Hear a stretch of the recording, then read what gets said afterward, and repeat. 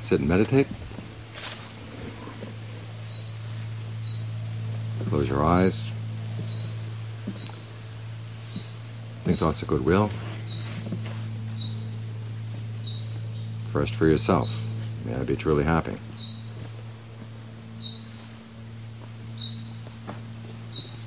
And then for all others around you.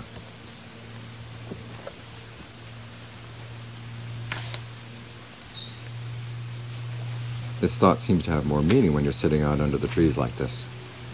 Because you realize there are beings all around you.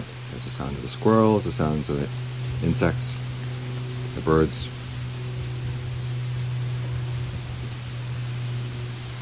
You realize that we're not alone.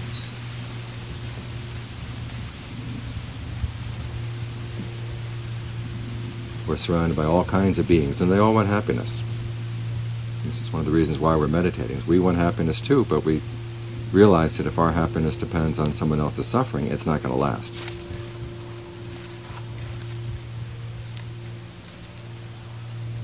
And it wouldn't seem fair. This is why the Buddha said the happiness that comes from meditation is a happiness that's not only skillful but also blameless.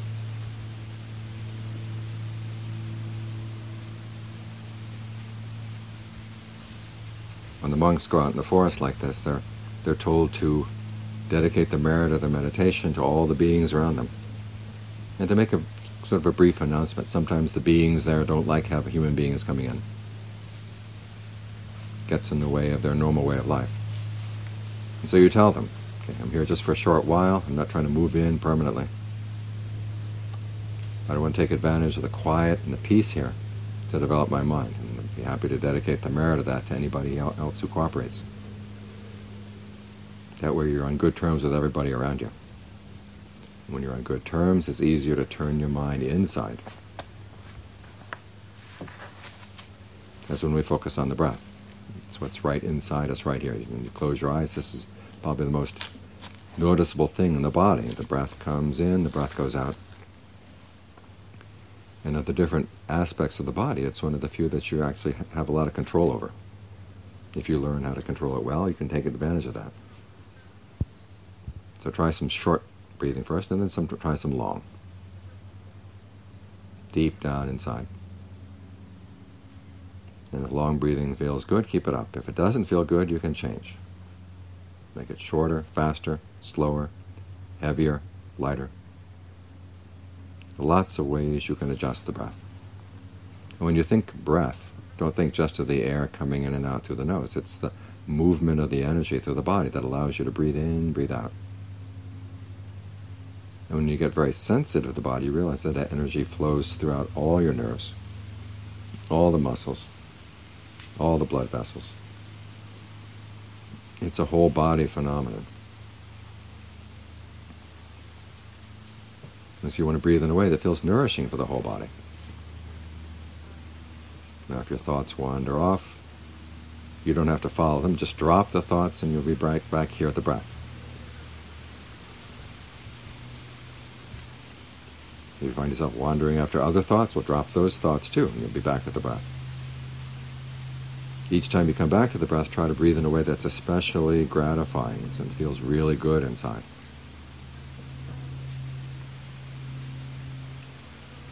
Because the work we need to do is inside. And you want to be able to have a focus that's steady with a sense of well being. The well being helps strengthen your focus, strengthen your concentration. By paying attention to the breath, you begin to realize how much your sense of well being has to do with simply the fact of how you're breathing, how you hold the body, how the energy moves around in the body.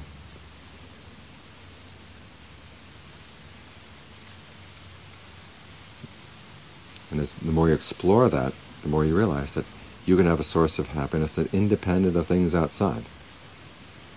It doesn't matter who you're with or where you are, as long as there's the comfortable breathing. You've got at least one part of your awareness that's yours and you've got it under your control.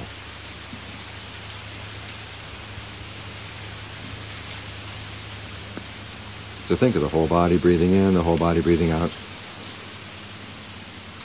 And in what way of breathing would feel really good. How does the energy flow affect it? Because sometimes the, the energy flow goes up and it gives you energy, but sometimes if it goes up too much in the body, it's going to give you headaches. And the flow of the energy goes down. As you breathe in, you think of the energy flowing down like butter melting down through your body. That can be relaxing, but it can also put you to sleep. So you have to find the right balance.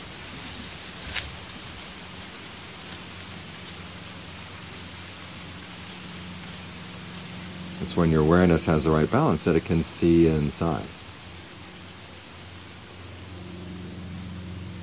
At the same time, as you're meditating, you're developing the qualities you're going to need in order to understand your mind, and develop good qualities. For example, the Buddha talks about what he calls the basis of success, and the four qualities that you have to apply to any job, any activity you have in order to succeed at it.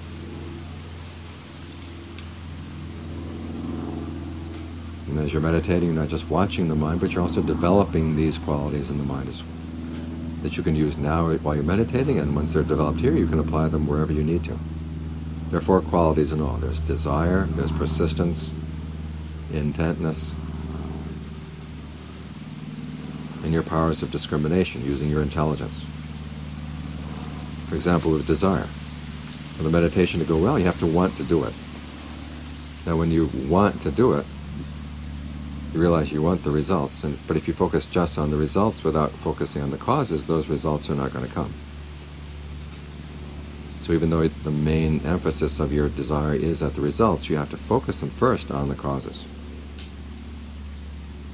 So staying with the breath, that's the cause. So learn how to make yourself favorably inclined to staying here.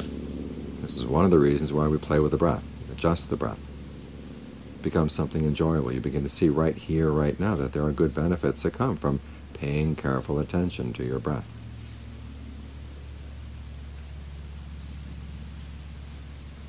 If that's not enough, you can think about the whole prospect of getting your mind under control.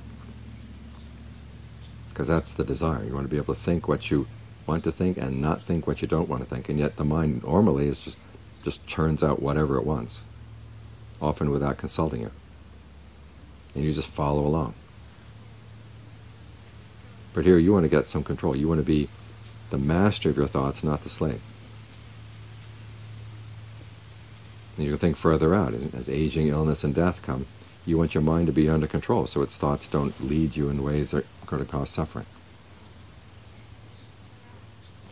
So this is one of the reasons why it's good to have something to hold on to, like the breath, so that when any thought comes up, you say, nope, I can drop that and just come right to the breath. So think about the good that comes from meditating. The fact that your mind will be under control becomes your friend and your servant, basically, not your master and a harsh master at that. When you think in this way, it gives rise to the desire to meditate more, put more energy into it.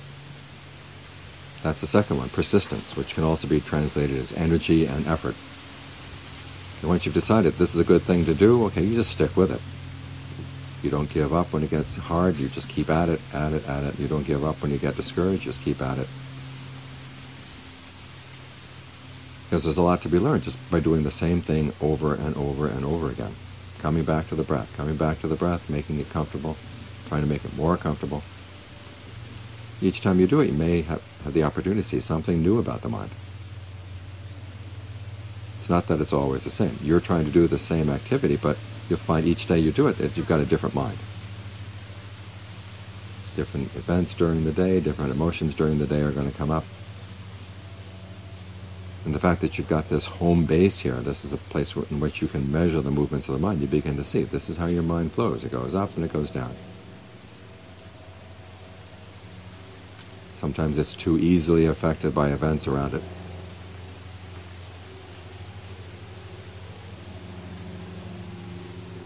But no matter what the state of mind, you there must be a way of dealing with this.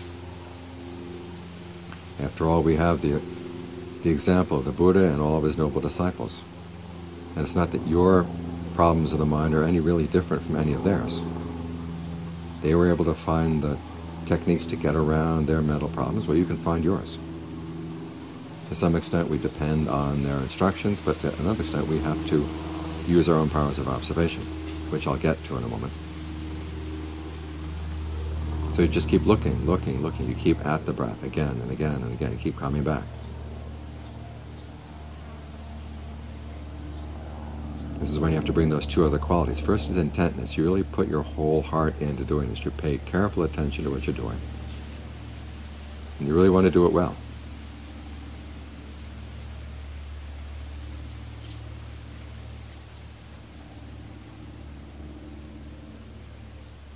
You don't just go through the motions. You ask yourself, is this really the best way I could be breathing right now? Let's try experimenting a little bit more. If you're experimenting too much and you don't get good results, just drop that and say, well, however the breath comes in, goes out, I'm going to watch it for a while until I can catch and see what I was doing wrong. But pay full attention here.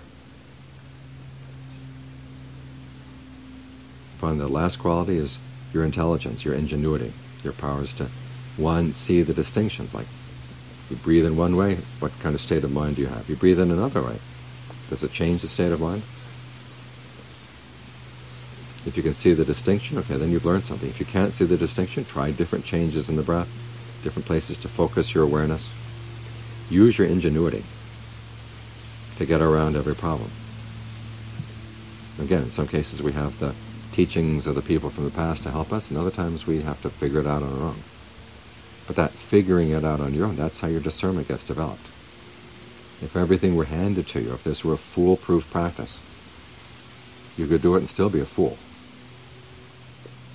But the whole purpose of this is that it makes you more intelligent. Because the things that are going to pull you away, your greed, aversion, and delusion, they've got an intelligence of their own.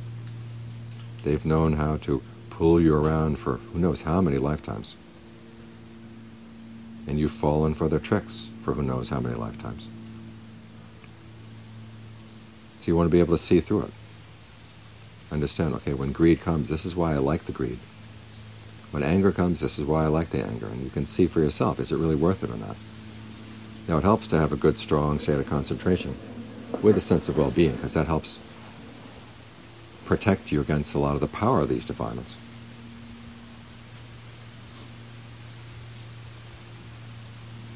So work on your concentration, work on your breath right now.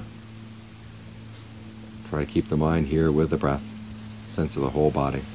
When you gain that sense of the whole body, see how long you can maintain it. One common problem that comes up is you're able to do it for a little while and say, okay, that's enough, what's next? Well, it's not enough. We're here to learn how to do these things well, how to maintain them as long as we can.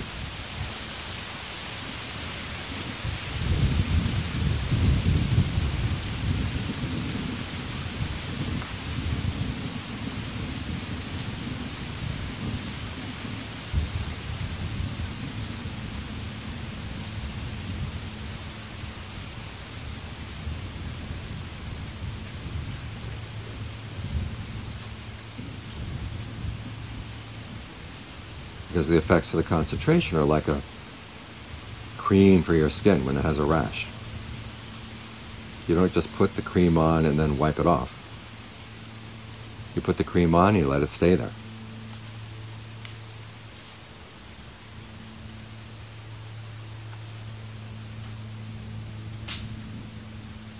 And the longer it stays, the more it's able to have a good effect on the skin. It's the same way with the concentration. The longer you can stay with the breath, the more it's going to have a good effect on the mind. These qualities that we're trying to develop, the qualities of desire and persistence, intentness and intelligence.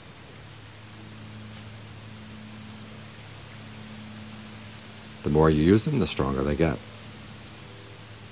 It's like exercising your body. If you don't use your body at all, it gets all weak and unable to do anything. But If you keep at it, exercise it just the right amount, strength of the body gets stronger in the same way as you exercise your mind here with the breath. Those good qualities get stronger too. And then you can use them both for the purpose of the Dhamma and for whatever else other work you need to do in the course of your life. You got a job that you know you should do, but you have trouble talking yourself into it. Well, you've already had practice talking yourself into meditating. You've already had practice learning to be persistent to put your whole heart into the meditation. To use your intelligence. Well, you can use those same qualities of whatever el- anything else that comes up.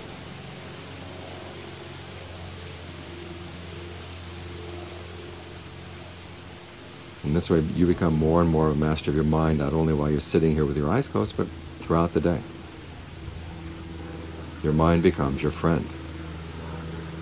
You're not constantly battling inside.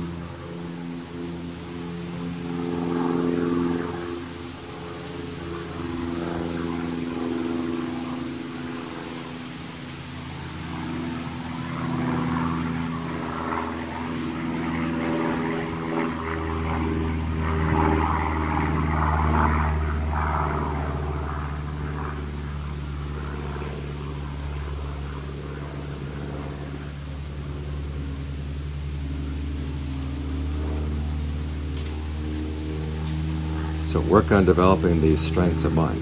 Because after all, these are the things that are going to be able to help us find that happiness we want, the happiness that comes from within. Learn how to rely on your mind, and it can create a happiness that you can rely on as well. And because these qualities do come from within, they're totally blameless. They don't have to put a burden on anybody else at all.